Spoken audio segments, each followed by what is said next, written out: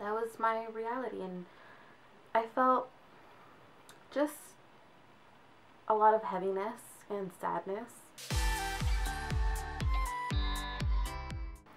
Hey guys, it's been a while since I talked to you guys in my closet, so let's get right into it. I've been very hesitant about making this video because the subject that I want to talk about is very heavy and very sad. I kept thinking, well, by the time I do this video and I upload it, like, the story is already old. I reminded myself that when I first started this channel and making videos that I was going to be authentic and real and honest. I have to stay true to who I am. And I won't make it too sad because I don't want to make anyone sad or remind anybody of tragedies or anything like that. I just wanted to talk about the shootings that have been happening and my take on it and my experience and my feelings and my thoughts on it. For those of you guys who don't know, I'm from the Bay Area, South Bay. My community was victim to a shooting at the Gilroy Garlic Festival. I remember getting the push alert on my phone saying of an active shooter. I kept thinking,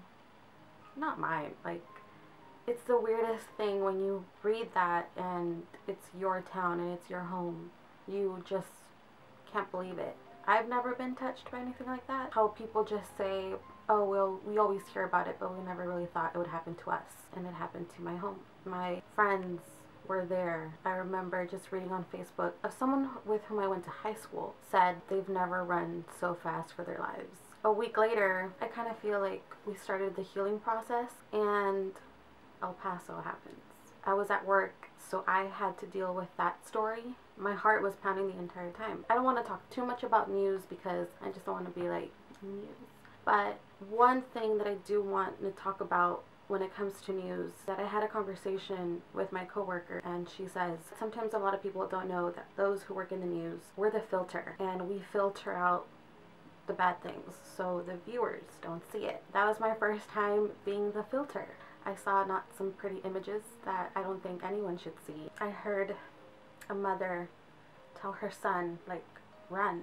In that moment, you hear it. But in that moment, for me, I have to do my job. It was heavy, and I'm human, and I care about people. To see the suffering, to have had the suffering hit so close to home, and then had to deal with El Paso, and then not even 13 hours later, Dayton, Ohio.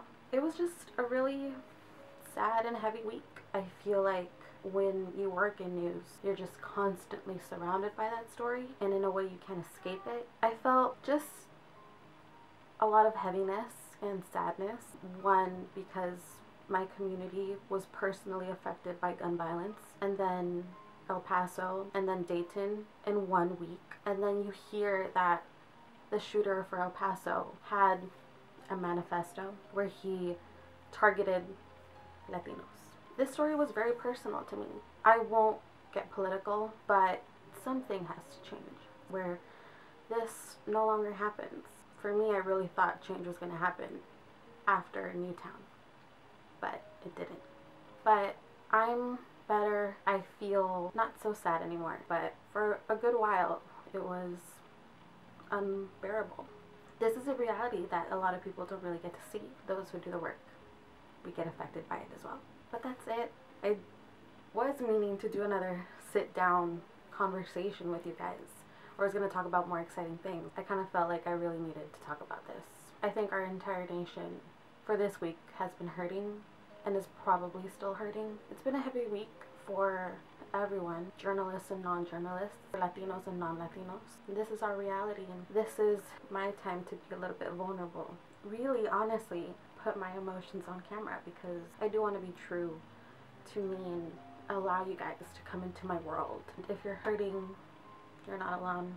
I'm optimistic. I won't make it too sad of a video. If you're interested in journalism, I hope you continue to be inspired and driven by the work that reporters and journalists do because it's important.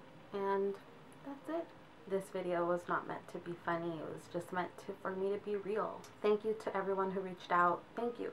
Thank you so much. That means the world. Thank you guys. I'll be having more little sit down chats and give you again a little insight into my world. Bye.